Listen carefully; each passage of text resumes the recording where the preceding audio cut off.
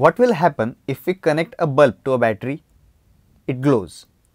If we rub a comb and take it near the piece of small paper, what will happen?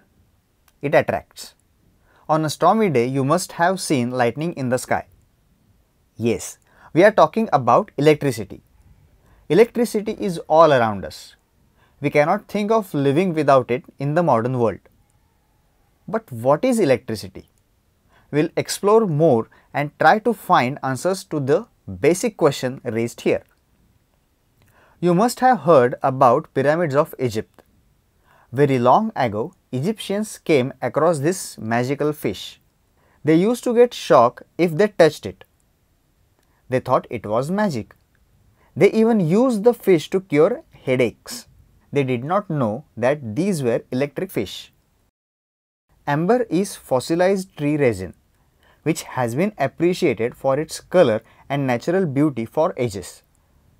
Amber is used in jewelry. Ancient Greeks discovered that if they rub certain objects like amber with cat's fur, amber gets this magical property. It can attract feather which is lighter than amber. They were curious about these forces. Amber means electron in Greek. So, we humans decided that there is some mysterious force which exists. We called it as electric charge.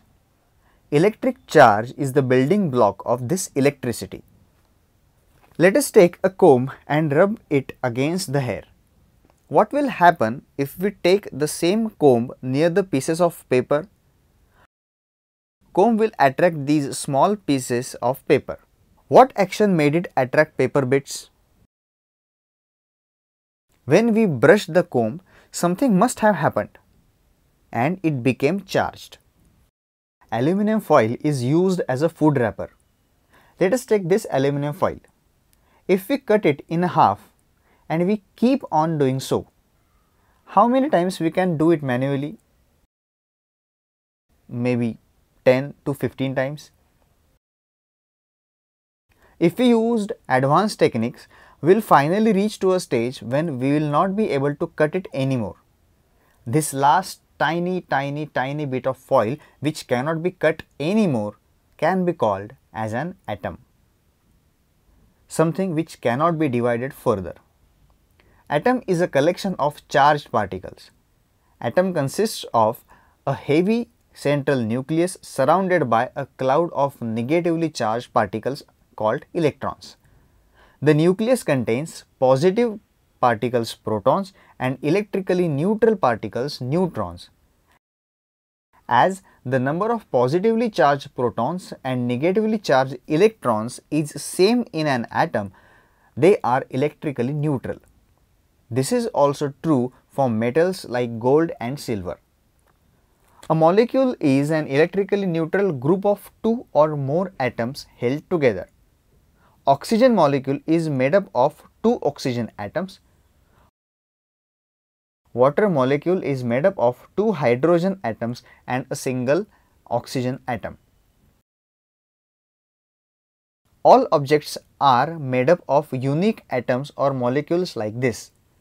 All the objects are charged objects there are two types of charges, positive charge and negative charge. A positive and negative charge do not really mean anything. Benjamin Franklin was the one who gave this name to the charges. He found that these two types of charges behave differently. They behave exactly opposite. He could have called them black and white or up and down, maybe but then he finally settled down to using the words like positive and negative charges. These charges behave differently when they are near each other.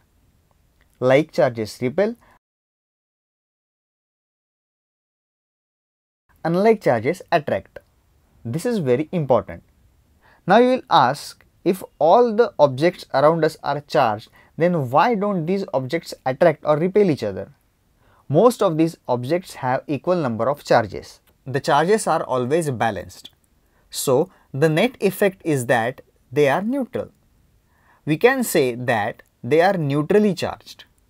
These objects neither attract nor repel each other. For objects to get charged, some action needs to happen. Somehow we have to add or remove charge from these neutral objects. If we take this pipe near the dry leaf, negative charges on the pipe repel negative charges on the dry leaf. This means we have positive charge on the leaf and negative charge on the pipe. As opposite charges attract each other, the leaf is attracted by charge pipe. We can visualize interaction between positive and negative charges with the help of PHET that is FET simulation.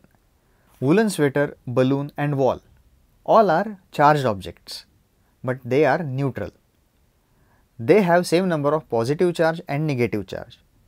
If we take a balloon and rub it against the sweater, balloon acquires some negative charge from the sweater. Now, balloon has more negative charge than the sweater.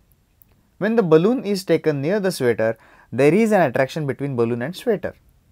Here is the wall, it is neutral. It has same number of positive and negative charge. What will happen if we take a balloon near the wall? As a balloon is negatively charged, it repels the negative charges of the wall to the other end. Now, balloon with negative charges are attracted by the positive charges on its side. What will happen if two balloons are rubbed against the sweater and then brought together? Try this yourself using the simulation. You can use materials like plastic, silk cloth, paper, dry leaves, around you and perform this activity for yourself. Summary Now we have discussed about electric charges. Let's recall it one more time. Electric charge is the building block of electricity. There are two types of charges, positive charge and negative charge. Like charges repel each other and unlike charges attract each other.